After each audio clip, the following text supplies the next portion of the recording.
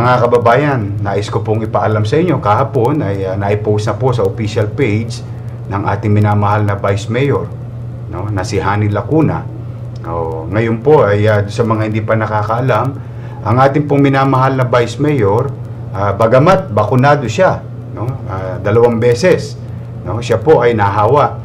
Eh, sapagkat mga kababayan, alam nyo, uh, nalulungkot po ako kasi eh, namimiss ko po siya dahil siya po ang aking katulong no, na itaguyod ang ating lungsod. Mano pa, itong kasagsagan ng pandemya sa loob na halos ng isang, isang taon at anim na buwan, more or less, mga kababayan. Siya po ang aking partner. Isa po siyang doktora. Uh, she went beyond the call of duty. Oh, siya ay vice mayor, presiding officer. Dapat yun ang trabaho nun. Ako po, matagal naging vice mayor 9 years.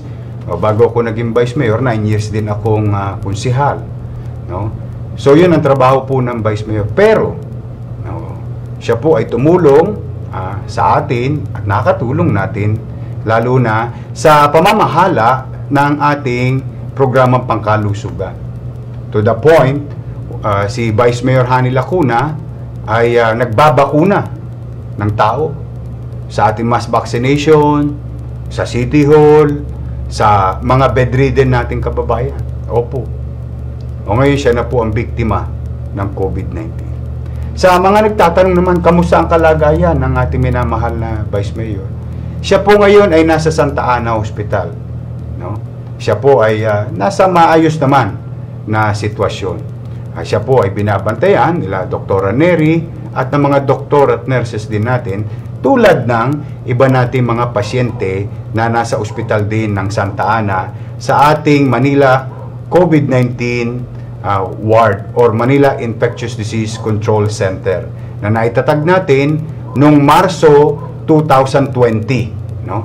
Yung pagbuka ng COVID infection sa Pilipinas nakapagtatag po tayo niyan kaagad.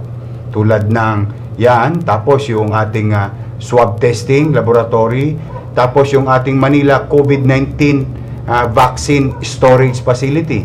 Nakabili tayo ng mga refrigerator no na from plus 2 plus 8 to negative 80 no, na nagagamit natin ngayon sa bakuna.